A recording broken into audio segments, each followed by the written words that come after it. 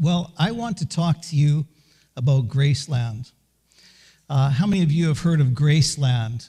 Uh, you know, when I say Graceland, you might be thinking of uh, a 17,552 square foot mansion on 13.8 acre estate in Memphis, Tennessee, that was the home of the king of rock and roll, Elvis Presley. You know who I'm talking about? Everybody here heard of Elvis Presley? Just want to make sure I'm getting my audience right. Okay, everybody's heard of Elvis Presley. Okay, I, I, I know this little obscure stuff that I'm talking about, but just want to make you sure. You know, this mansion actually, it was the home of Elvis Presley, and catch this, it is located at 3764 Elvis Presley Boulevard. What are the chances of that? The home of Elvis Presley, located on Elvis Presley Boulevard. I mean, is that is that amazing coincidence or what? Um, you know, when I was looking at this mansion, I was thinking how actually modest it looks compared to these celebrity mansions you see uh, nowadays. It kind of looks kind of quaint in a sense, doesn't it? It's quite something how uh, opulent things have become. But uh, it is now, of course, a tourist attraction.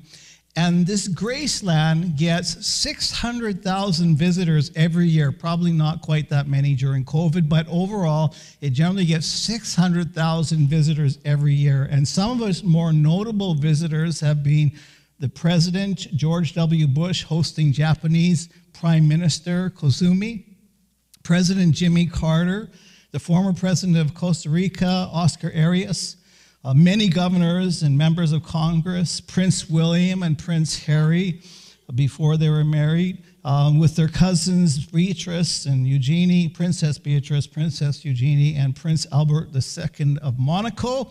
Of course, many musicians, including Paul McCartney and Paul Simon, who Paul Simon, after his visit to Graceland, uh, wrote this title song of the uh, hit album, which is named after it as well, called Graceland. And so it's kind of interesting. You can visit Graceland yourself if you want, and that is you can do so and you can get an ultimate VIP tour for $190 per person. That would be American, so that's about 365 Canadian. So, uh, but uh, that will get you in to we, we where the king was, King Lib.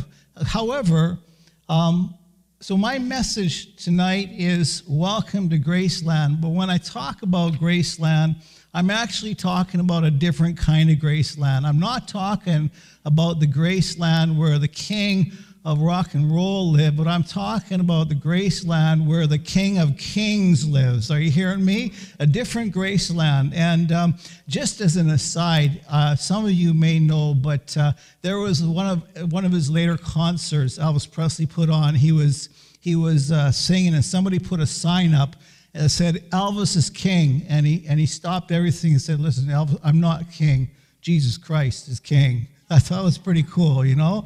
But uh, in any case, that was a little bit aside. That's for free. You can share that with others. But my title of Graceland actually isn't really inspired by the mansion, but it's inspired by a visit I had with a fellow who used to attend New Life, and he's gone to be with the Lord now. He was in the hospital, and uh, he actually had been the lead guitar player for the uh, Christian rock band, band Servant. His name was Bruce Wright. And when I went to visit him in the hospital, he was suffering from lymphoma. And he, has, he was a really uh, great guy, and he had a very kind of uh, uh, interesting sense of humor. And so when he came in, he says, Hey, Scott, how are things in pastor land? Nobody had ever asked me that question. How are things in pastor land?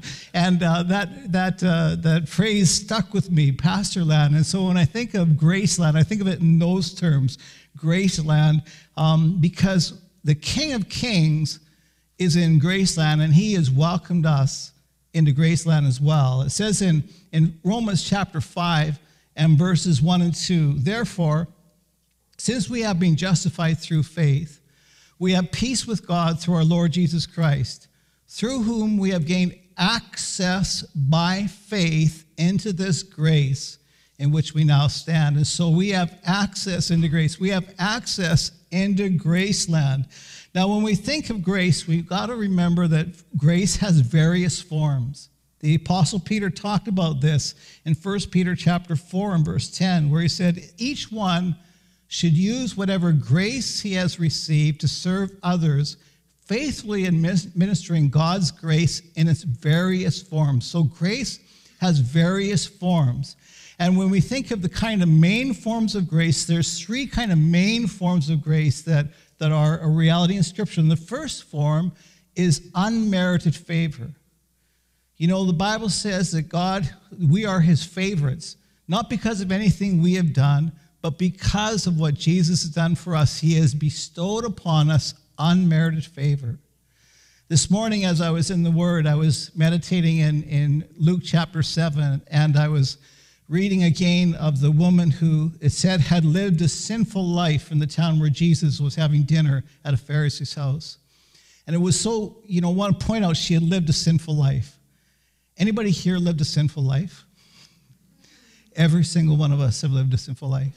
And it says, so she came to Jesus and she stood behind him at his feet, weeping. And then she began to wipe his feet, uh, wet his feet with her tears, uh, wiped them with her hair, and kiss them and pour perfume on them. The Pharisee who had invited Jesus, name was Simon, he was indignant. But what really struck me, that's a loaded passage of scripture, there's so much there, but the thing that just really struck me is how Jesus welcomed this woman who scripture wants us to understand that she was very far from perfect. But he just loved her and welcomed her to him. And, uh, you know, I was thinking of the expression that we often think of Jesus, friend of sinners, because there's nobody else around but sinners. And, uh, and he welcomes each one of us and he pours out his grace. And he said to her, um, Woman, your sins are forgiven. The other guests at the house were, were scandalized by this. And then he said, Woman, your faith has saved you. She had been given grace by her faith. She had access to this unmerited favor of God. That's the first form of grace that we think of in the scriptures. The second form is gifting to serve others. Gifting to serve others. It says in, in um, Romans chapter 12 and verse 6 we have different gifts according to the grace given us. So each one of us is gifted differently. It's, it's really not a good idea to compare yourself to somebody else because they, they have a different gift than you. Don't feel like you should be like them or have to be like them. You know, be, be encouraged and, and prodded by their godliness for sure and be challenged by that. But as far as gifting is concerned, we have different gifts according to the grace given us. And so we see that the grace of God in our lives is not only unmerited favor, but it's also the bestowing of gifts on us. And within that, there are many different forms of grace, as is alluded to in the verse in 1 Peter chapter 4 and verse 10. And there's gifts of all kinds that the scriptures uh, uh, delineate, which we won't go into right now. But we understand that the gifts of God, the grace of God, again, it is given freely. A gift is a gift, it's not earned. And because of that, we understand that a gift is not our badge. You know, it says in 1 Corinthians 4, What do you have that you did not receive? And if you did receive it, why do you boast as though you did not? So don't boast in your gifting, boast in the Lord, right? He's the one who gave it to you. And praise the Lord, use it for his glory, but don't find your boasting in it. Boast in him. And so we understand that we're not to boast in our gifting, we boast in the Lord. The second thing we understand that the gifts of God are, are without repentance. They are, they are given to us, and, and we may use him for his glory, but we may use him for our own selfish ends. He doesn't take the gift away. It's given to us, and we have it. And so don't assume that if you see a gifted person that there is character underlying that gift. There may be and there may not be. And we need to understand whatever gifting we have been given from the Lord, character is the foundation of that gift. And that's something that we work out with the Lord. And uh, He's the one who gives us the grace for character, but He's looking for partners in that process, right? So the gift's free, but the character is something that is usually happens through the fires and trials of life. Praise the Lord and the grace of God in our lives. Amen. The third form is the power of God. And I'd like to focus a little bit more on this form of grace as we're looking at the various forms of grace. See, God's grace is what gives us the ability to do, to endure, to enjoy, to overcome in ways that we otherwise would not be able to. It's the divine power to do that which would otherwise be humanly impossible. That's God's grace. And, um, and we see this grace is the great difference maker in our lives. It is the game changer. And we see it in Paul's life when he was asking God to take away from him a thorn in the flesh. And we, he, we, we get the account of this in 2 Corinthians 12 9, where it says, But he said to me, My grace is sufficient for you, for my power is made perfect in weakness. So we see that not only is God's grace, his unmerited favor, and not only is God's grace the ability, giving us gifts to be a blessing to others, but also God's grace is his power in our lives. My grace is sufficient for you, for my power is made perfect in weakness. Therefore, I will boast all the more gladly about my weaknesses, so that Christ's power may rest on me. That's so important for us to understand that God's grace is the power needed in our lives.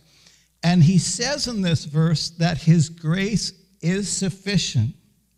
It was sufficient for Paul, and it is sufficient for you and me.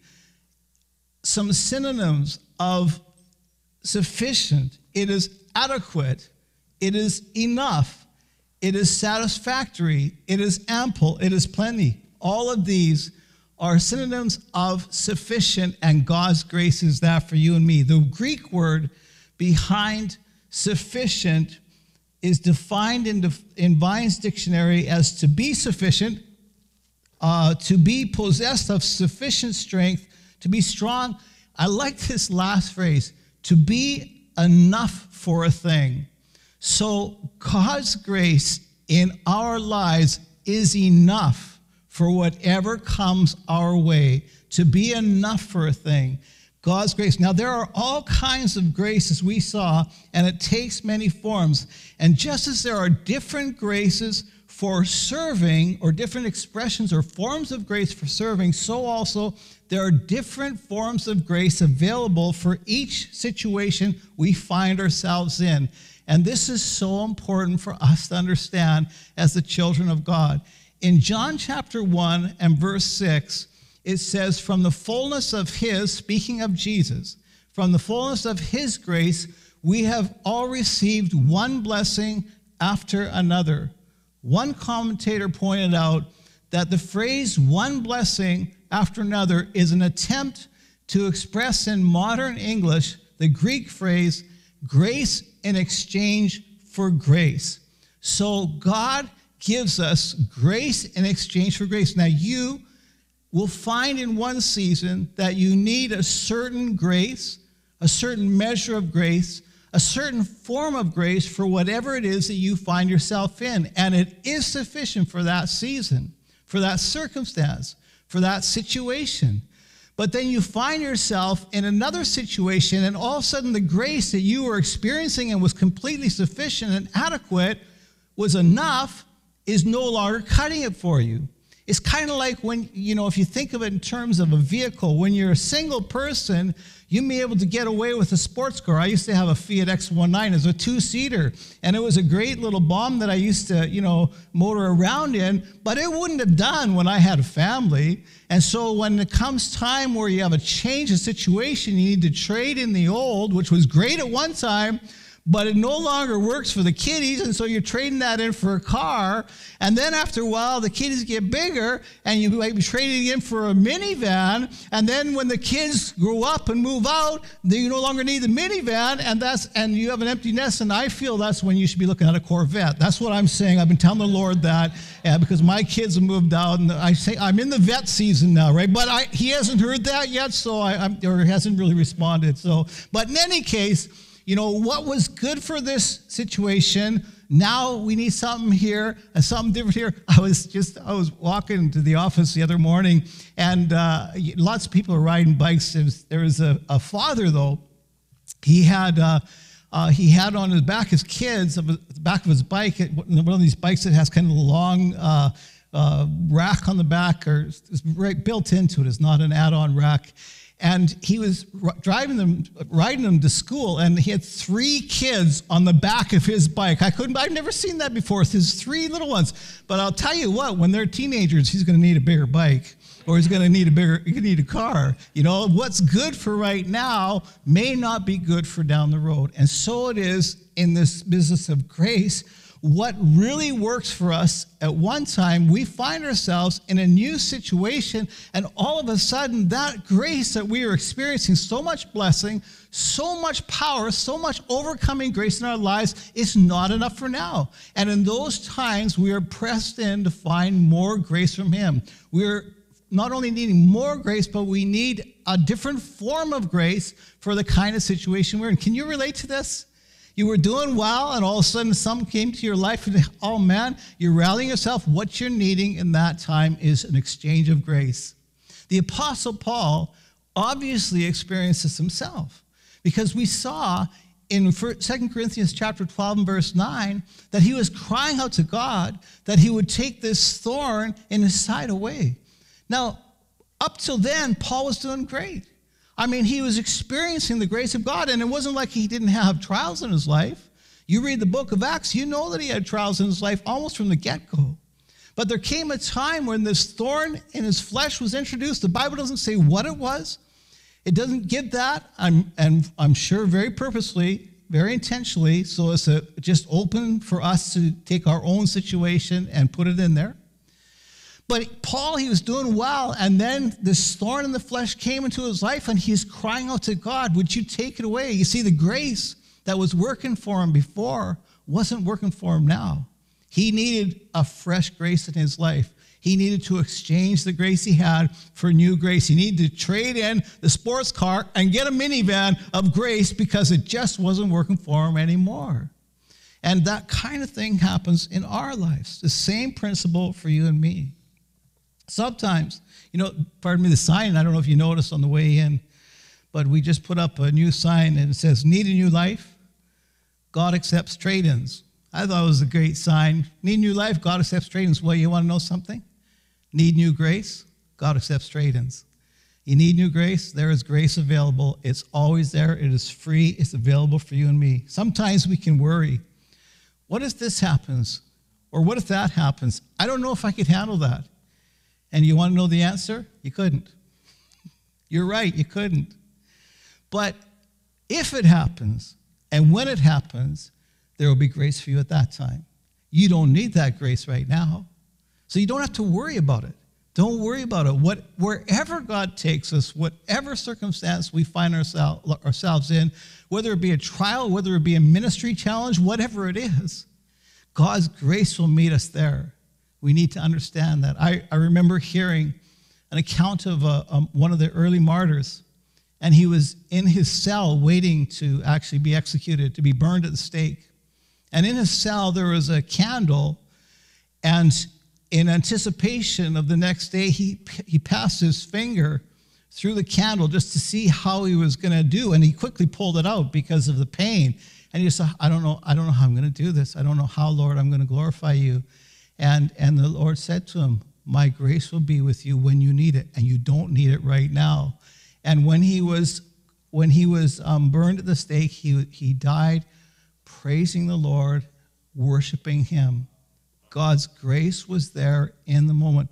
You don't need grace for what might happen. You just can trust the Lord that whatever happens, God has grace for you in there. So we can understand and have confidence in the Lord that whatever happens down the road, there will be grace for us. But what's also so important for us to understand is that there is grace for us for what's happening today. Sometimes it's easier to believe I'm going to have grace for tomorrow, but maybe we need to think, do I have grace for today? And what we, God wants us to know, whatever is happening in our lives, He has grace for us. Now, some of us, many of us, maybe all of us in some measure, are going through a testimony. Testimonies are not given without drama. Testimonies arise seeing God coming through in high tension situations where if he doesn't come through, it's going to be disastrous. Anybody ever experienced that? And if you are experiencing a challenging time where you really need to see God come through, then you're walking through a testimony. But what I want to declare to you today that God has grace for you, and that is part of the testimony of what you're going through. He wants you to know that you have He has grace for you, not just for what might happen tomorrow, but He has grace for what is happening today. You know, sometimes we can believe that God's grace, you know, like it was there for the martyr to die for the Lord, but we also need to understand that God's grace is needed and available to live for the Lord. Sometimes we can think, okay, God's grace may be there for tomorrow. We need to know that God's grace is here for today. Can I hear you say amen? Now, accessing Graceland, accessing Graceland is the operative question. God, if your grace is there, how can I access Graceland? Now, I told you before that if you wanted to go to the Graceland in Memphis, Tennessee, it'll cost you $190 American to get in, but that's not the way you get in to this grace that we're looking at here as we get into the scriptures. It says in Romans chapter 5 and verse 2, as we looked at earlier, it says, through whom we have gained access by faith into this grace in which we now stand. Now, in the context Uh, Romans chapter 5 is talking about the form of grace of unmerited favor. But the same is true of any form of grace. In fact, Colossians 2 6 says, So then, just as you received Christ Jesus as Lord, continue to live in him.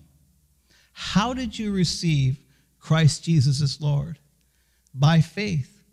You recognize your need, perhaps through a crisis. You realized your need for forgiveness. Maybe you realized your need for deliverance. Maybe you realized your need for a purpose or love or simply your need for God. Somehow there was a crisis that came into your life that prompted you to call out to the Lord. Perhaps it was through hearing the word. Perhaps it was through looking at yourself in the mirror. Perhaps it was your conscience in crisis. Perhaps it was all of the, the above but there was some crisis of soul that came into your life that propelled you to cry out to God so you would access His grace. That's how you came to Christ, and that's the same way that you access the grace of God as His power. You recognize there's a crisis in your life in some way, either because you're just not getting the victory in a circumstance, circumstance you're falling on your face, or whatever it may be, but you are becoming aware that you have this need in your life, and that is designed to propel you by faith into Graceland. And as you call on him in that situation, he will, he will answer you. You put your trust in Jesus. Maybe you've tried, maybe you tried other things before you were saved. Maybe you tried other religions. Maybe you tried self-help programs. But finally, you decided to follow Jesus and you put your faith in him. You know, it's true that as Christians, we can also try other things, can't we? We, we look here, we look there, and finally the Lord says, What are you looking there for when you, I'm calling you to look at me? because it's my grace that is sufficient for you. So we access Graceland by faith. And, and what did you do after you recognized your need? You called on the name of the Lord. In Romans 10, verses 11 and 13, it says, as the scripture says, anyone who trusts in him puts their faith in him. Anyone who trusts in him will never be put to shame, as this for, for everyone who calls on the name of the Lord will be saved. Perhaps there's no greater expression of faith than simply calling out to the Lord in prayer. That's how you came to him. Like it says in Colossians, just as you received Christ Jesus Lord, continue to live in him. And so, just as we received him as Lord by faith and we called on his name, the same thing is true when you're in need of grace. There's no magic formula. It's the same God responding to you just as he did then, he's responding to you now. We need to understand that grace is available and we have access to Graceland. It's not a complicated thing. It's simply God in our lives who brings that grace to us. In closing, Peter says in 1 Peter 5:10, he refers to God as the God of all grace so, whatever form of grace you're needing, whether you're needing grace for perseverance, whether you're needing grace to overcome sin, whether you're needing grace to be able to walk into forgiveness, whether you're needing grace to love someone, whether you're needing grace to serve the Lord and keep believing on Him, whatever form of grace you are needing in your life, the source of all grace is God Himself. He is the God of all grace.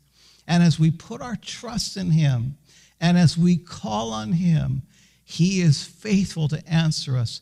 And I believe that even the desperation of soul that comes into our lives is designed by Him to experience a grace that we otherwise would not have experienced. And so, because of this, as we saw earlier, the Apostle Paul says, Therefore, I will boast all the more gladly about my weaknesses so that Christ's power may rest on me. He had found that although he tried to be strong in himself, actually he realized that the awareness of his weakness was an opportunity and it propelled him in to find the grace, power, and strength of God.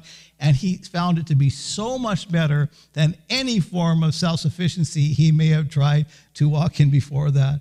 His grace is available to everyone. He is the God of all grace. Hallelujah. Amen. Well, let's pray and ask the Lord just to take his word and minister into our lives. Father, I just want to thank you for your word. I thank you that you are faithful and you are the God of all grace. And Lord, I thank you that whatever any of us are experiencing right now, you have a grace for us for where we are. Now, Lord, I just want to lead us now. And I encourage you as I'm praying, would you just bring before the Lord? Maybe you are aware of an area of your life where you are needing a fresh grace. You, you know, the old grace just isn't doing it anymore. You're needing new grace. And I just want you to open that to the Lord under your breath. Just whisper to Him. This is you and Him now. I'm just helping you in prayer. So, Father, we just lift this before you, Lord. And we pray, Lord God, for fresh grace in our lives where we need it. We just know that you have said that we are to be over, you're called us overcomers, and, and that we have more than victory in Christ Jesus. And so we pray and we put our trust in you and we just acknowledge that you, Lord, you are the God of all grace, and our hope is in you. And Lord, we say yes to you. And not only do we ask for that fresh supply of grace. But Lord, we now, in the name of Jesus, say we receive it from you. Yes, by faith, Lord, we receive your grace into our lives. And we thank you for this in Jesus' name. And everybody said, Amen. Amen.